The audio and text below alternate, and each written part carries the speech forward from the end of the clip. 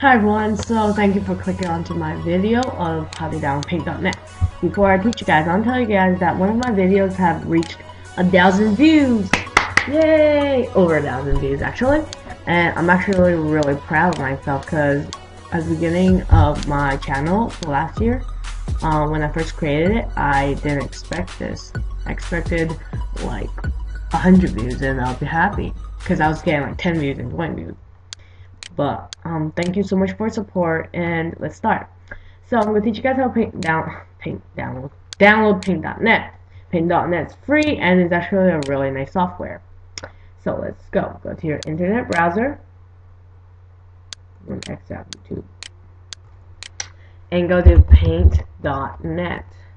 Okay, simple enough. My fingers. Sorry. Paint.net. Enter and you visit this site. Now, you want to just click on this logo that says paint.net okay? Or you just click on that link. It's the same thing. Mm, and you'll go on this page called donate. You see that these two links are purple because I clicked on them before. Just ignore that. You want to go to downloads? Um, as long as you have a as long as you have um, 512 megabyte RAM and you're running on either Windows 7 XP or Vista then you should be okay um, Paint.net does use um, quite a lot of hard drive space because they have to, like, even if you don't save your project, they still have to remember the history. But, like, you can't find it again if you don't save it. It's 3.5 megabytes itself. It's the newest version, October 9th, 2011. Um, depends on when you're watching this, but if there's a new version of something, I'll probably make a new video.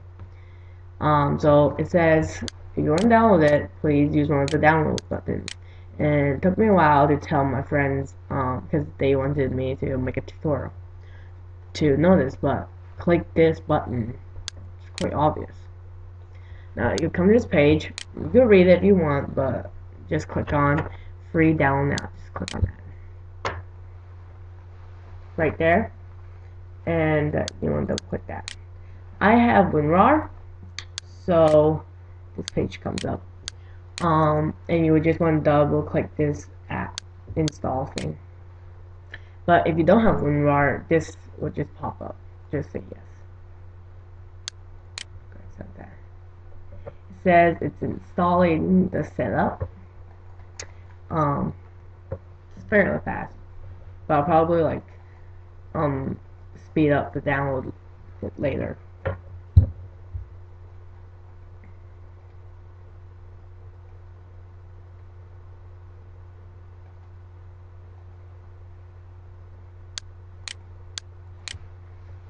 Okay, um, here it is. Now it says the installer will help you install Paint.net. Choose the installation method you prefer. I would rather choose quick, and you do not want custom. Choose your language. I'm um supposing that you're using English. I'll go next. You read the copyrights. Usually people don't. Just click I agree. I'll Say next, and it will start downloading.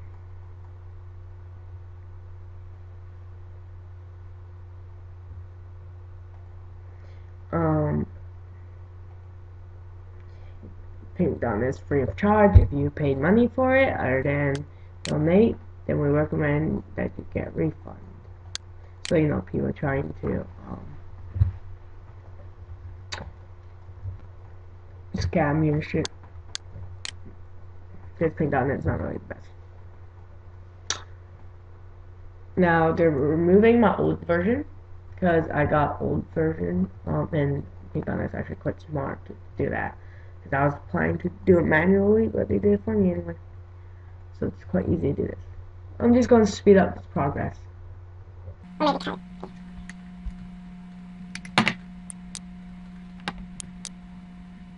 so I can see if it's going, blah blah blah. Oops, okay, so, so I accidentally clicked on the, wait, wait, excuse me. So, more. Mm-hmm.